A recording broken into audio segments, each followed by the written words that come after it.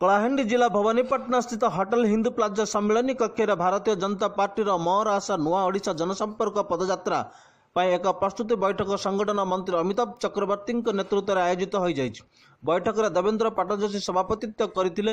ଏହି ବୈଠକରେ ସମ୍ପାଦକ ଅଜୟ ପାଣିଗ୍ରାହୀ ଯୁଗଳ ପୋଡ଼ ମଞ୍ଚ ପରିଚାଳନା କରିଥିଲେ।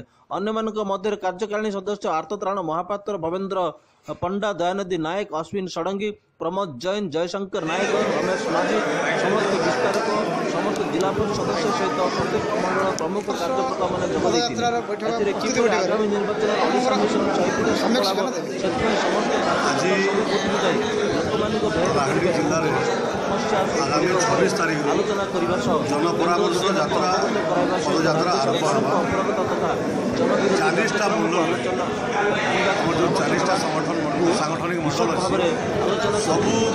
ସାଂଗଠନିକ ମଣ୍ଡଳରେ ଏଟ୍ ଏ ଟାଇମ୍ ଆରମ୍ଭ ହେବ। ଏ ଯାତ୍ରା ପନ୍ଦରରୁ କୋଡ଼ିଏ ଦିନ ପର୍ଯ୍ୟନ୍ତ ଚାଲୁ ହେବ। ଏବଂ ଏଥିରେ ଜିଲ୍ଲାର ସମସ୍ତ ପଦାଧିକାରୀ ମଣ୍ଡଳର ସମସ୍ତ ପଦାଧିକାରୀ ସାମିଲ ହେବେ। ଆମେ ଗାଁକୁ ଯିବୁ। ଗାଁରେ ଲୋକମାନଙ୍କ ସାଙ୍ଗରେ ଆମେ ସମ୍ପର୍କ ରକ୍ଷା କରିବୁ। ଏବଂ ଆମର ଗୋଟେ ବହି ଆସିଛି ଜନପରାମର୍ଶ ପଦଯାତ୍ରା ପାଇଁ ଗୋଟେ ବହି ବି ଅଛି। ଲୋକମାନଙ୍କର ପରାମର୍ଶ ବି ଆମେ ସେଥିରେ ଲେଖିକିରି ଦେବୁ। ଯେଉଁ ପରାମର୍ଶ ଦେବେ ପରାମର୍ଶ ସବୁ ଆମେ କଲେକ୍ସନ୍ କରିବୁ। ଆଉ ଯେଉଁ ପରାମର୍ଶ ଦେବେ ତାକୁ ଆଗାମୀ ଦିନରେ କାର୍ଯ୍ୟକାରୀ କରିବୁ। ଲୋକମାନଙ୍କ ସାଙ୍ଗରେ କଥା ହେବୁ। ଦିନରେ ରାତିରେ ରାତିରେ ରହିବୁ ଗାଁରେ। ଆମର ଯେଉଁ ଜିଲ୍ଲା ପଦାଧିକାରୀ ମଣ୍ଡଳ ପଦାଧିକାରୀମାନେ ଅଛନ୍ତି ଆମର ଇଲେକ୍ଟେଡ୍ ମେମ୍ବରମାନେ ଅଛନ୍ତି ଗାଁରେ ରହିବେ।